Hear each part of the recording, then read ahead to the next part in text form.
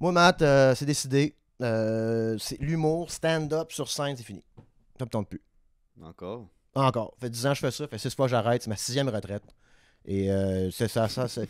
Non, ris pas, Chris. C'est un domaine empoisonné, l'humour. Nomme-moi un humoriste, Matt, qui est pas un crosseur, un menteur ou un voleur. Bonne chance. Je veux, être, je veux pas être associé à ça, moi. Un humoriste, Matt, là, c'est la crasse de la société. Bottom of the f barrel. Complètement inutile.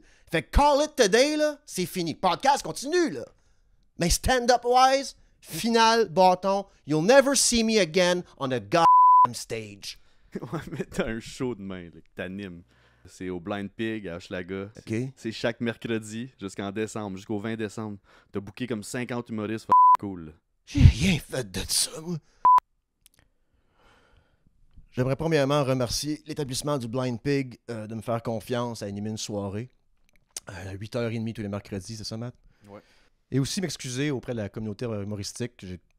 Comme je vous dis, là, c'est des paroles en l'air que j'ai dit avant. là, je ne prenais pas ma retraite euh, de l'humour. C'est une communauté que j'aime beaucoup, euh, d'ailleurs. Euh, des gens que, que je pourrais dire que je tolère. Donc, venez en grand nombre, assister à, à la fin de ma carrière. là, on, va, on va faire un party le 20 décembre. On va, on va closer ça, bien comme du monde. Euh, au Blind Pig, euh, à 8h30 tous les mercredis. Billet, euh, link in bio. Non, on dit ça, les jeunes? I guess. Barnac.